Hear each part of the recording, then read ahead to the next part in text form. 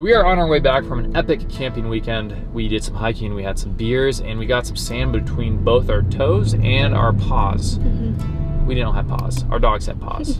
and typically, taking our Airstream travel trailer out for a weekend getaway gives me just a little bit of anxiety because this means that we are going to be cleaning more than typical just with dirt and sand and all that jazz getting in the trailer. But I have to say, after this weekend, I was pleasantly surprised. And that's because Air Gear sent us this awesome RV mat. And now you may be asking, Sam and Lauren, why have you not invested in a quality RV mat in the past?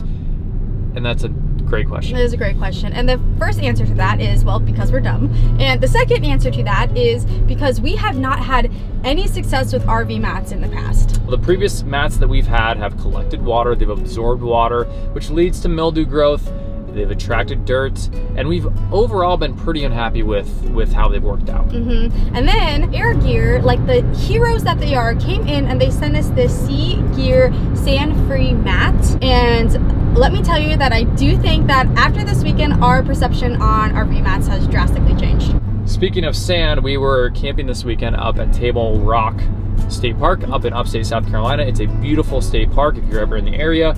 They have beaches, they have lakes, and great hiking. But the downside is the campground has some pretty sandy soil.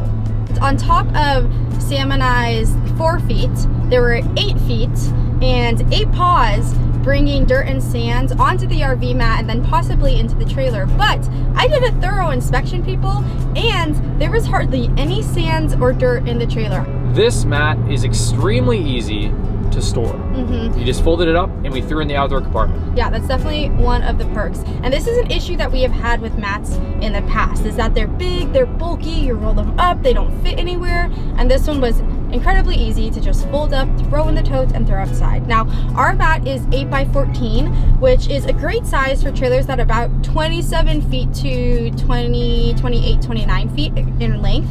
But CGEAR has four different styles in regards to color, and then they also make three different sizes. So ours is the 8 by 14 feet. They also make an 8 by 11 um, foot mat, which is great for trailers that are between 16 to 23 feet. And then they make an 8 by 20 foot mat, which is is great for trailers that are a little bit over 27 feet. And these are really good for those bigger patio areas and those much bigger rigs. But our 14 foot mat actually worked really well for our size. It covered the patio area nicely, but didn't feel like it was taking up the whole campsite.